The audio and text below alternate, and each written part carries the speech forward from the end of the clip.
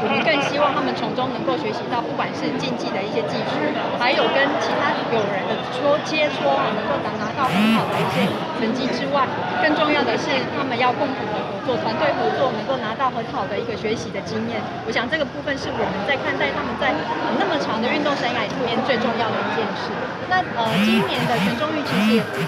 跟往例其实是一样，我们把医护团队带了进来。今年是跟大同医院合作，那其实非常谢谢大同医院的帮忙，因为大同医院在这段期间不是只有在呃我们到了花莲比赛的时候他们才蛇队，其实在这一段过程里面跟体育班的合作，这些优秀选手他平常可能就会有一些运动防护，还有就是心理智商的一些需求。那所谓的心理智商，当然就是运动选手有时候在比赛面对挫折的时候，可能会需要有一些能够协助他度过低潮的这样子的一个力量。我想大同医院在这里。扮演了非常重要的一个角色，其实也非常特别，谢谢大同医院这一次还特别能够把，呃，不管是运动防护的一些伤害的需求，还有就是我们营养师等等的都能够组成一个团队，跟着我们的选手一起到花莲去。希望这一次的这项准备，包括我们选手平常的练习，能够在这一次的全中运里面获得最佳的成绩。那当然，因为疫情的关系，我们也会希望选手能够做好保护自己、